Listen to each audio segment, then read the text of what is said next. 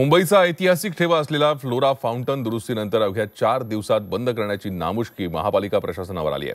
चारच दिवसांपूर्वी युवासेनेचे अध्यक्ष आदित्य ठाकरे आणि मुंबईचे महापौर विश्वनाथ महाडेश्वर यांनी फ्लोरा फाउंटनचं उद्घाटन केलं. सव्वा कोटी रुपये खर्च करून फ्लोरा फाउंटन सुरू करण्यात आलं पण त्याच्या कारंजांना गळती लागली आहे.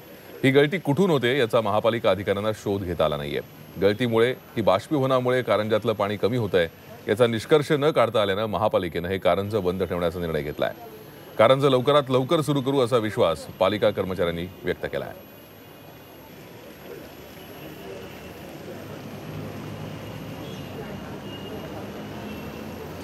आणि याच एकूण परिस्थितीचा आढावा घेतलाय आमचे प्रतिनिधी सचिन गाड यांनी.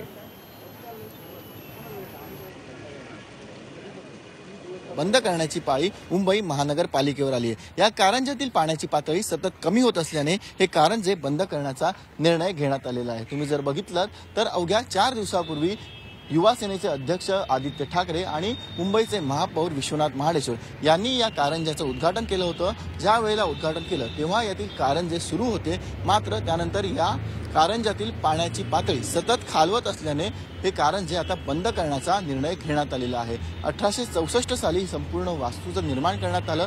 पोर्टलँड दगडात तर तुम्ही बघितलं तर ही वास्तू बनवण्यात आलेली आहे आणि अतिशय सुंदर अशी ही वास्तू आहे. दोन हजार सात पासून हे कारंजे बंद होते आणि त्यानंतर दोन हजार सोळा साली हे कारंजे पुन्हा एकदा सुरू करण्याचा निर्णय घेण्यात आला आणि त्यानंतर या संपूर्ण परिसराचं सुशोभीकरण देखील हाती घेण्यात आलं. ही संपूर्ण वास्तू अशा प्रकारे बनवण्यात आलेली आहे की या कारंजेच्या खाली पाण्याच्या टाक्या ठेवण्यात आलेल्या आहेत आणि या टाक्यात असलेल्या पाण्याच्या मदतीनेच हे कारंजे सुरू राहतील कोणत्याही अतिरिक्त पाण्याचा पुरवठा याला करावा लागणार नाही अशा पद्धतीने या संपूर्ण वास्तूची निर्मिती करण्यात आलेली आहे. अवघ्या चार दिवसांपूर्वी ही वास्तू पुन्हा एकदा सुरू करण्यात आली. यातील कारंजे सुरू करण्यात आले मात्र सुरू केल्यानंतर पालिका अभियंत्यांच्या लक्षात आलं की यातील पाण्याची पातळी सतत कमी होते. शनिवारी टँकरच्या सहाय्याने तब्बल दहा हजार लिटर पाणी देखील या कारंज्यांना पुरवण्यात आलं. मात्र ते पाणी देखील त्याची पातळी देखील खालावली आणि पंप बंद पडतील या भीतीने अखेर हे कारंजे बंद करण्यात आले. अद्याप या याची कारणं नेमकी स्पष्ट झालेली नाही आहेत बाष्पीभवनामुळे पाण्याची पातळी कमी होते की टाक्यांमधून पाण्याची गळती होऊन पाणी कमी होतंय हे अद्याप स्पष्ट झालेलं नाहीये.